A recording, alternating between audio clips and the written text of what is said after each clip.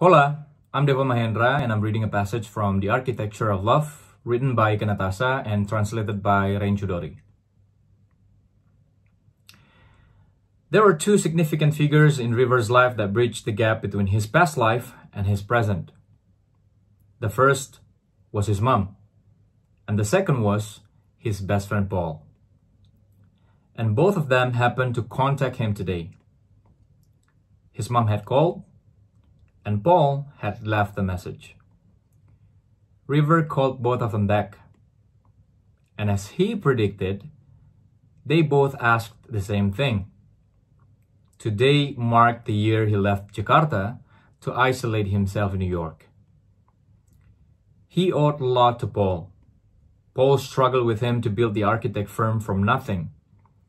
Paul was also the first person who understood him when River made the shocking decision to leave for New York for a year. Paul was the one who took care of the firm, while River went on with the decision. The projects continued without a hitch, and River continued to earn as a shareholder.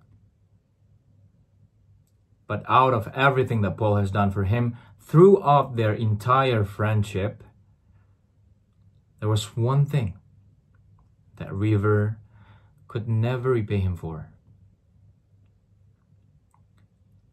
Paul was the one who introduced River to the woman who would one day become his wife.